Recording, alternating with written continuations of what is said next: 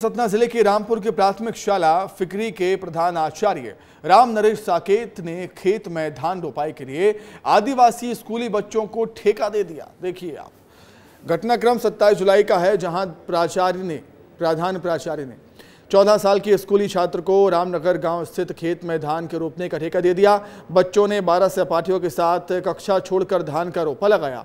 प्रधान आचार्य ने सभी को डेढ़ डेढ़ सौ रुपये मजदूरी भी दी।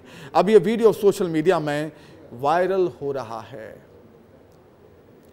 प्रधान आचार्य, ऐसा कर रहे हैं। बच्चों को स्कूल में पढ़ाना चाहिए। मजदूरी करवा रहे हैं उनसे खेत में। धान रुपवा रहे हैं, डेढ़ डेढ़ सौ रुपये मजदूरी भी देती